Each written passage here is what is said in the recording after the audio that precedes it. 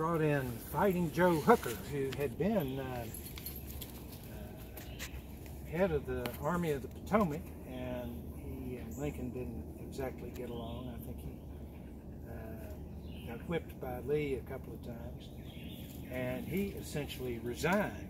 It's the story I understand. He didn't. He wasn't actually replaced. I believe Meade uh, replaced him. So he had been uh, sort of waiting in the wings to do something, Grant came in and uh, took over the, group here in Chattanooga. Uh, Blue, fight me and um, Hooker then came up uh, from Alabama, and they uh, gathered there in the Wauhatchie area. He brought uh, Geary and uh, Osterhaus with him, but the group that was under Hooker was actually from three different corps, so they were not used to fighting together. And uh, he basically sent this, what he thought I think was a ragtag bunch, uh, up here to basically get uh, supplies, resupplies along the railroad route, uh, which came in right at the, the river. Uh, Geary and his men climbed up these hills, steep hills, and um, overpowered the, the, Confederate forces who knew they were coming. They just didn't know uh, in what force. And they all fall back to Craven's house, or they called it the White House. They didn't know who Cravens was at the time. And General Walthall, the Confederate general, one of Stevenson's generals, was uh, his headquarters were the Cravens house.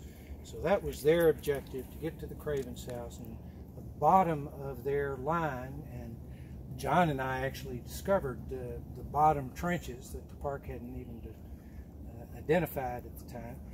They were able to uh, let the troops reinforce Thomas, uh, who uh, was then put in charge by Grant and they attacked uh, Missionary Ridge, the Confederate forces fought back and forth, and this is something I wasn't too clear on, but uh, as the Union forces came in, the Craven's house, they were reinforced there because that was Walthall's headquarters, and these big rocks that go from Craven's house down the hill were the battle line, and that is my backyard.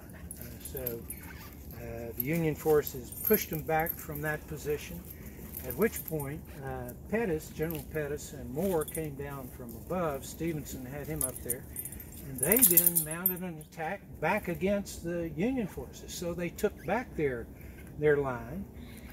These guys who'd been fighting all morning, Geary's people, were running out of ammunition. So Thomas had him re reinforced uh, with uh, 120,000 rounds carried on the backs of the soldiers. And they then pushed them back again. So this went back and forth a couple of times. And then about 2 a.m., uh, they withdrew, but they had protected the Whiteside Pike, which uh, allowed Stevenson to uh, get his guns and uh, material back down the mountain in the dark, and they all went over to Missionary Ridge and reinforced Bragg and, uh, and Grant's men.